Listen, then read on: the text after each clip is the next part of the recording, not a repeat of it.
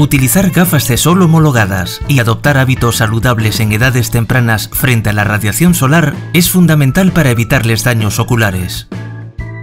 Los ojos de los niños y adolescentes son más vulnerables que los de los adultos a los efectos nocivos de la radiación solar. Las estructuras y tejidos oculares de los niños y adolescentes no están totalmente desarrollados. La pupila está más dilatada y la pigmentación no está completada, por lo que tienen menos mecanismos de defensa solar.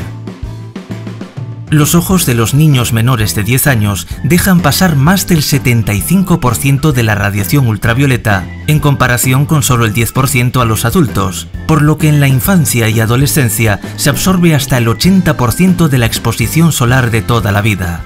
Los niños en la playa y en las piscinas reciben la radiación solar nociva directa y un 25% más, que es reflejada por la arena y por el agua. En la montaña también aumenta la radiación solar, porque la distancia con el Sol es menor. La protección solar ocular hasta los 16 años es imprescindible para reducir los riesgos de sufrir daños como lesiones corneales y conjuntivales, degeneraciones de retina, cataratas prematuras y alteraciones oculares que afecten a la visión permanentemente.